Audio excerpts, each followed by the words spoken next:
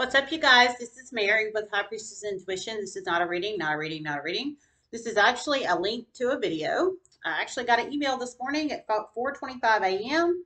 and um, I'm not going to read the email because it is private, confidential uh, matters between me and this person. But this person sent me this link because it's um, in regard to sun, moon, and stars intuitive apparently being exposed approximately five months ago um, publicly. So I'm going, and since it is a public video via YouTube, I'm going to share it in the link below. Um, sun, moon, and stars intuitive. I didn't even know who you was, ma'am. I didn't even know who you was. You need to leave folks alone, and I'm serious about that. Hopefully, this is a good lesson, life lesson, and I'm serious about that. All right. Love you guys. Namaste.